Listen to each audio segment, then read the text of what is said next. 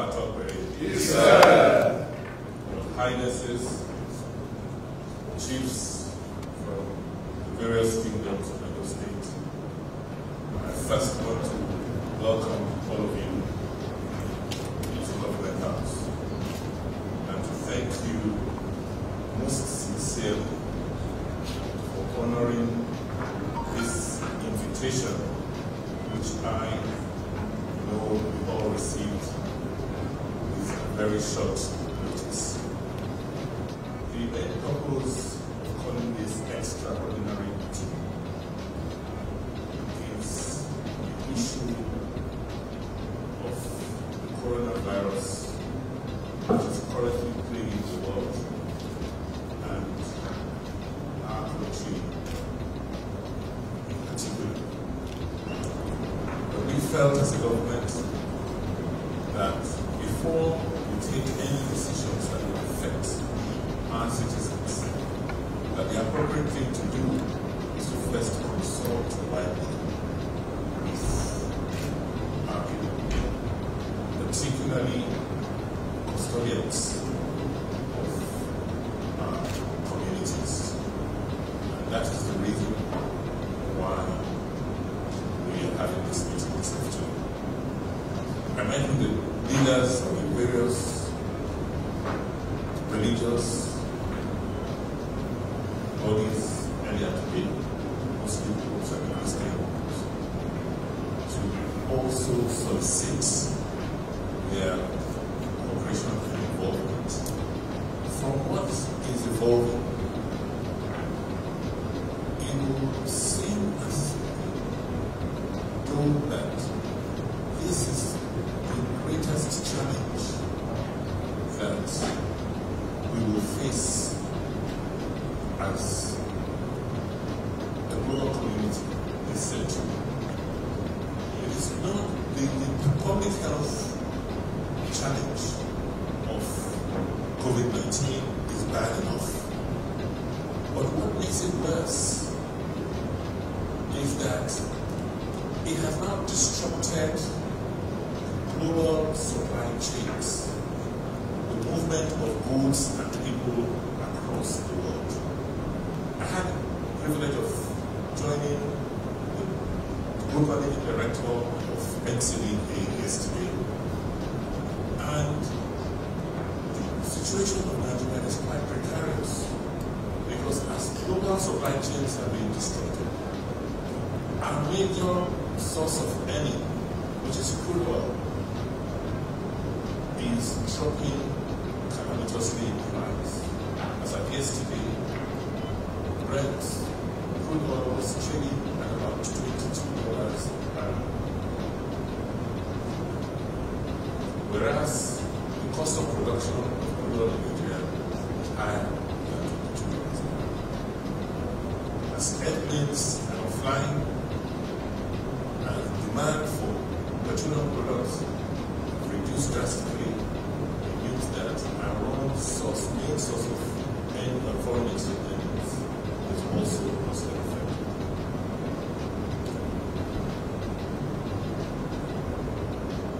Clearly, we will be impacted, impacted. But they say in every adversity, there are opportunities, and it's up to us to focus on those opportunities. And I'm pleased to inform you that I'm one of the seven governors that will work with the president, uh, federal authorities to see, find ways out of this challenge. The last point I want to make is that as a state, and as it relates to the public health challenge of COVID-19, State is much better placed than many other states. The reason is that in Edo State, arising from my experience the challenge of Lassa fever, the state government over the last two years has made investments in facilities that will help us deal with COVID-19. That will um, help us deal with the COVID-19 crisis. We are one of the five centers, states in Nigeria that has a treatment center in Irrua. We have isolation centers in Benin City, in the south, and we also have Auchi, including the one that is in Irrua. So we are prepared from an infrastructure standpoint. Beyond that, we have trained hundreds of public health workers on how to deal with this pandemic.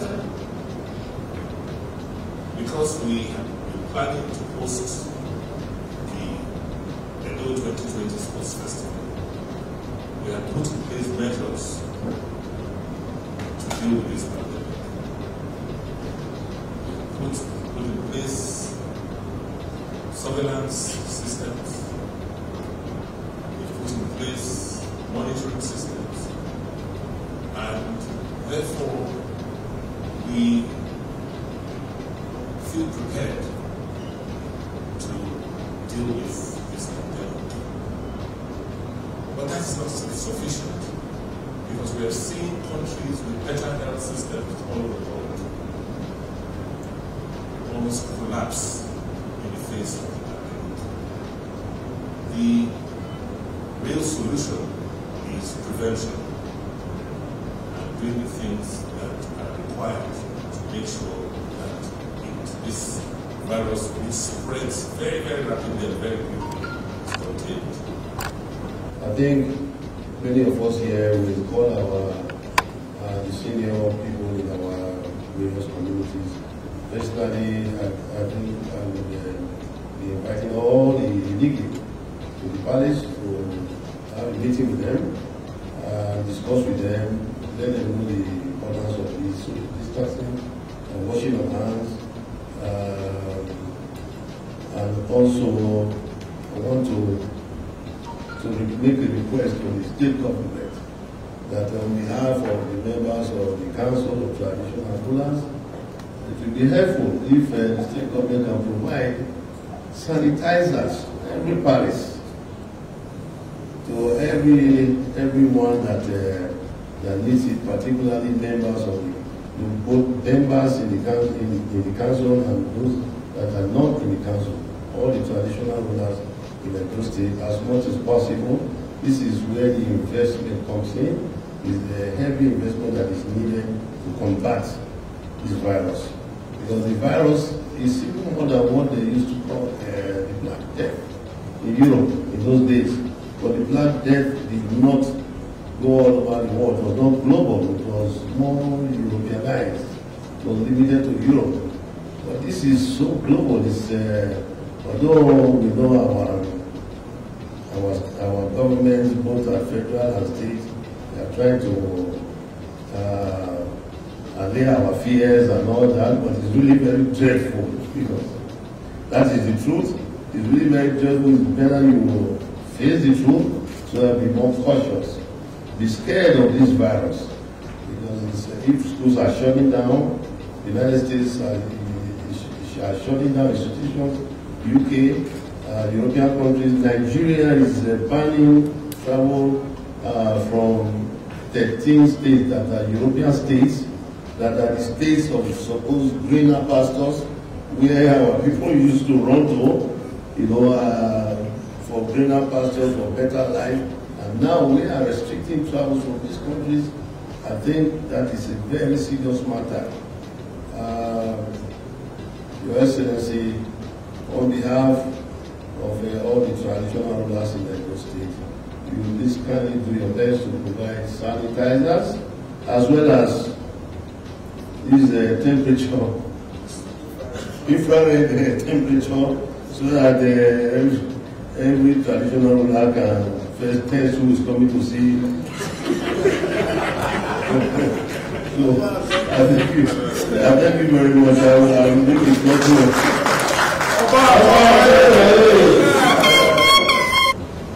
We, as a government, are committed.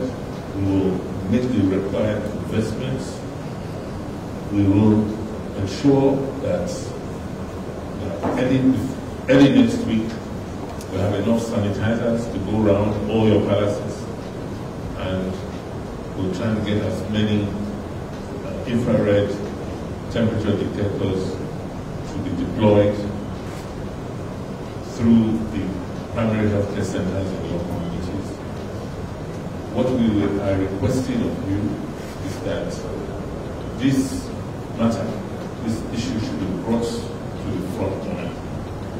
We are going to instruct all our private PHC, primary healthcare workers, uh, the people we have trained, fortunately we've trained them in every local government, uh, to come with teams to your palaces and get a and a working arrangement with you as to when they should come, where they should go, what you know, uh, which areas they should provide information to people.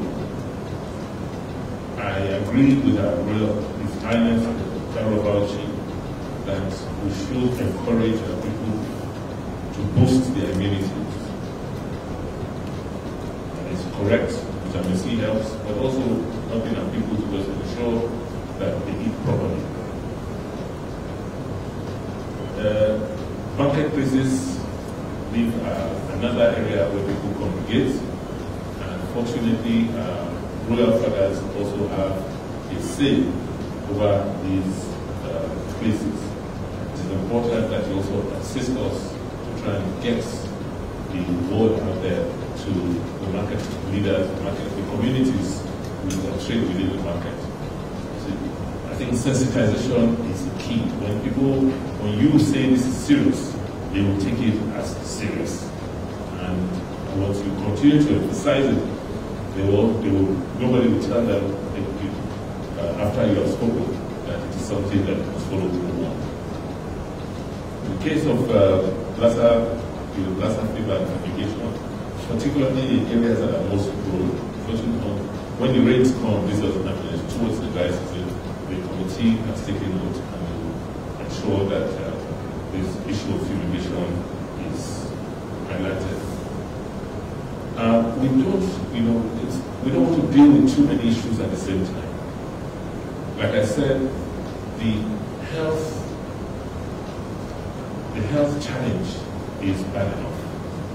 Let us not compound it with the economic consequences of this challenge. Let us contain the spread, and at the time I come back to address you traditional council meeting, we'll let you know what measures we are putting in place.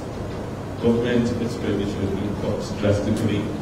Uh, the budget is being reviewed uh, so that we can emphasize those things that are important at this point in time. The president has made it clear we should ensure in whatever we do, we pay salaries and. That before we take, or we take any other, uh, so that has its own implications. So we will come back to you to explain very, very clearly what we're doing. But what I want to assure you is that your government, this government, is going to be, is, has always been transparent.